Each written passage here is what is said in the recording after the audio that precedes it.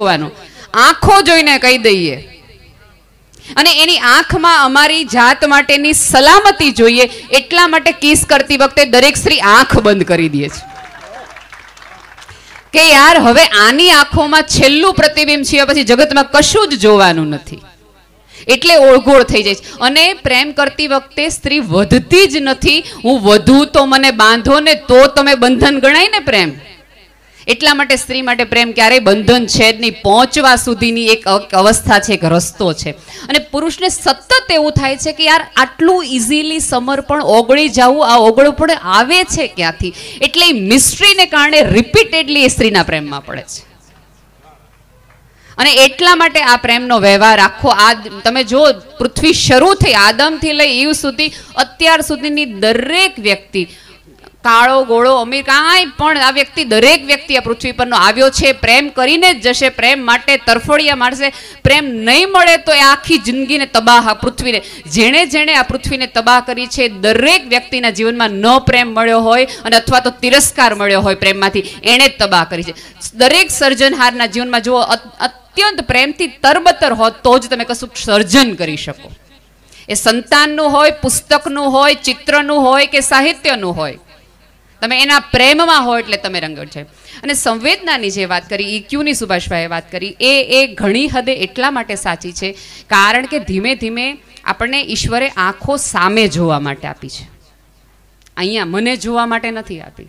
આપણે સામે જોવાનું જ ભૂલી ગયા છે. સેલ્ફીમાંથી આપણે સતત આપણે પોતાની જાતને જ જોયા રાખીએ છીએ. એટલે મને બીજાનો વિચાર જ નથી આવતો. ના મારી પડખે સૂતી હોય એને કે નથી મારા રૂમની બહાર રહેતી વ્યક્તિ, એની પણ મને તમા નથી હોતી. આપણે, હું ઘણી બધી વાર કહું છું કે જે લોકોને આજુબાજુવાળાની પીડા, તકલીફ અને મૂંઝવણ સ્પર્શતી નથી એ લોકોએ ગ્રહોની ચિંતા કરવાની જરૂર જ નથી. તમને આજુબાજુવાળા ન સ્પર્શતા હોય તો ઓડલા હજારો કિલોમીટર દૂર શનિ અને મંગળ તમારું હું બગાડી લેવાનું હોય? તમને નહીં જ સ્પર્શે. અમારા બાળકો છે એ મનબુદ્ધિના બાળકો છે. સુભાષભાઈને જઈને જ્યારે જ્યારે રૂમીની, ટાગોરની, જીબ્રાનની, સંજુભાઈ વાત કરીને, ત્યારે મને એમ થાય કે બહાર તો સ્કૂલની બહાર તો આવા માણસો છે જ નહીં. તમારે મળવા હોય તો આવજો મારી નિશાળે. કે જે બાળકને, જે વ્યક્તિને એક પણ પ્રકારની ભાષા નથી આવડતી. આપણને અહીંયા બેઠેલા તમામ વ્યક્તિઓને ત્રણ ભાષા સરેરાશ આવડે છે. ગુજરાતી, અંગ્રેજી ને હિન્દી. ત્રીસ વર્ષ, બત્રીસ વર્ષ, ચાલીસ વર્ષ સાથે રહ્યા પછી સમય સાંજે આપણે દરેક વ્યક્તિ એક વ્યક્તિને કહીએ છીએ કે, યાર, હું તને જે કહેવા માગું છું, તું સમજી શકતો નથી. અને મારા બાળકોને એક પણ પ્રકારની ભાષા નથી આવડતી. મારા તેલવાળા માથા સાથે મારી આંખમાં સહેજ એવો આમ ઉદાસી હોય ને, તો મને ભેટી પડે ને એમ કે, બેન, ચા પીવી જ ટીપોસના એવાયા છે મારા બાળકો. તમે જો કે ક્યારેક તમારી બુદ્ધિ છે ને બુદ્ધિ નામના ચશ્મા તમને કોકના આંસુ જોવા નથી દેતી, તમને શંકા આપે.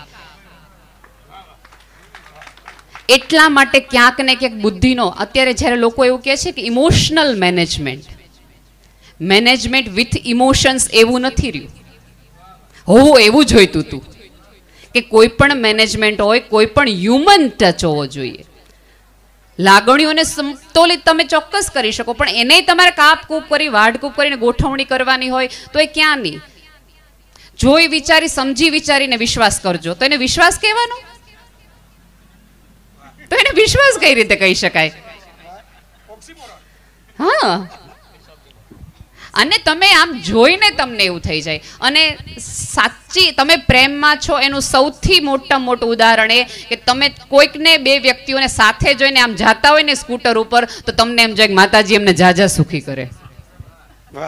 અને આ તમારા ફ્લેટની નીચે સ્કૂટર પાસે બે જણા ઊભા હોય ચોકીદારને ફોન કરીને કે ઓલા બે કોણ ઊભા જોવો તો. એટલે તમને તો નથી મળ્યું પણ કોઈને આ પૃથ્વી પર ન મળવી જોઈએ એવા આપણે હવે થઈ જતા આવ્યા છીએ. બરાબર છે.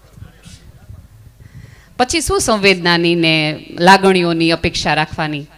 સુભાષભાઈ સરસ વાત કરી કે સાચા અર્થમાં આ નવી જનરેશન સારી છે કે તરત મૂવ ઓન થઈ જાય છે. પણ સતત મૂવ ઓન થતા રહેવું થતા રહેવું એ પણ એક પ્રકારની સમસ્યા છે. હમણાં થોડા વખત પહેલાં વેલેન્ટાઇન દિવસે એક પ્રોગ્રામમાં એક- એક ભાઈએ મને એવો પ્રશ્ન કર્યો કે બેન પ્રેમમાં એક વખત જ થોડું પડવાનું હોય. એટલે બીજું હા, એ વાત સાચી છે. એક એક પ્રેમમાં તમે નિષ્ફળ જાઓ તો બીજા પ્રેમમાં પડો.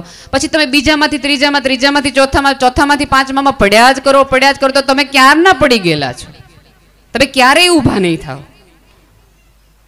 પ્રેમમાં પડવું ચોક્કસ છે, પ્રેમમાં ડૂબવું છે, પણ પ્રેમમાં જે જે ડૂબ્યા ગયા છે ને, એકચ્યુઅલી તરી ગયા છે. ભવસાગર તરવાનો એક જ ઈલાજ છે કે પ્રેમમાં ડૂબી જાઓ.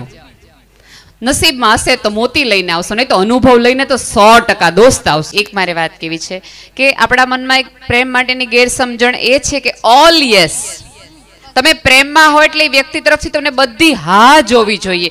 કોઈ વ્યક્તિની હા એ પ્રેમ નથી, મારી નાનો સહજતાથી સ્વીકાર એ પણ પ્રેમનો જ ભાગ છે. એટલે અહીંયા બેઠેલી દરેક સ્ત્રીએ પોતાના સંતાનોને ના થોડીક શીખવાડવાની જરૂર છે. ચોકલેટ માગો તો તમે તરત ચોકલેટ આપી દો. કેડબરી માગે આ બહાર જવું છે રાઇફલમાં જવું છે બધી હા yes okay okay okay okay. એને થોડીક ના સાથે પચાવતા શીખો. થોડીક વાર તો એને રાખો.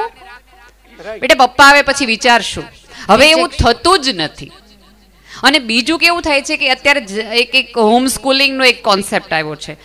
એ સારો કે ખરાબ એમાં નથી પડતી, પણ એમાં ત્યારે હું બધાને કહું છું કે જે જે લોકો પોતાના સંતાનોને એવી રીતે આમ આમ જયભાઈ જેવા મા બાપ હોય કે જે પોતાના સંતાનને ચોવીસ કલાક દરરોજ ક્ષણે ક્ષણે નવું આપી શકતા હોય તો જુદી વસ્તુ છે. પણ એવા કિસ્સામાં તમે એટલા સભાન હોવા જોઈએ, તમારી પાસે એટલો સમય હોવો જોઈએ. પણ તમારા બાળકને જ્યારે તમે ઘરે રાખો છો, ત્યારે તમે ઓલ યસમાં રાખો છો. એને ખબર જ નથી પડતી, સ્કૂલમાં પચાસ બાળકોની વચ્ચે તમે ઊભા થાવ ટીચર એમ કે બેસજા હમણાં નહીં. હમણાં તારે ઊભું નથી થવાનું. હું કહું એટલે ત્યારે રાહ જોવાની છે, તારો વારો આવે ત્યારે તારે જવાનું છે. એ બધું છે, એ સ્કૂલિંગનો ભાગ છે. પણ આપણે ત્યાં અત્યારે સ્કૂલિંગ સિસ્ટમની જેમ જયભાઈ વાત કરીએ કે આપણે માર્ક સિવાય વિચાર જ નથી કરતા. જે શિક્ષકો આવી વાતો કરે છે ને, એને એને આચાર્યો મેમો આપે છે કે ભાઈ પાઠ પૂરો કરો, ખોટી વાતો નહીં કરો. અને પછી એ જ આપણે માતા પિતાઓ છે જે ફરિયાદ કરે છે કે આ સાહેબ આડાવડી બહુ વાતો કરે છે. જેને તમે આજે આડાવડી વાતો કરો છો એ તમારા સંતાનને આડાવડે રસ્તે આવતીકાલે લઈ જશે દોસ્ત અને કોઈ પણ સંબંધ હોય લવ મેરેજ હોય કે અરેન્જ મેરેજ હોય એમાં કેવું થાય છે કે પ્રેમ નામનું પતંગિયું તમારા ઘરમાં કે તમારા ખભા ઉપર આવીને બેસે જો તમે સ્થિર હો તો. પણ આપણે એ પતંગિયાને પ્રેમ નામના પતંગિયાને ઈચ્છાઓથી સપનાઓથી ગુસ્સાઓની ટાંચડીઓ મારી મારીને ફ્રેમ કરી દઈએ કે આ પતંગિયું આમનામ રહેવું જોઈએ. પહેલી વખત જેટલો આઈ લવ યુ વખતે મને નિખાર હતો એટલો જ નિખાર મને આ સમયે રહેવો જોઈએ. તમે જીવતા પતંગિયાને ટાંકણી મારી મારીને જડવા માંગતા હોય તો આ જગતનો એકેય પતંગિયું જીવે નહીં કોઈ પ્રેમ ન જીવે. વાહ વાહ નેહલબેન વાહ. અને સૌથી મહત્વનું કે પ્રેમ નામનું તત્વ તો ઉતરે છે ઉપરથી મહેર હતી. એવી મહેર દરેકના જીવનમાં થાય છે પણ આપણે એની પાસે કામ કારકુની ના કરાવીએ છીએ એટલે પ્રેમ આપણને નૂર નથી લાગતો.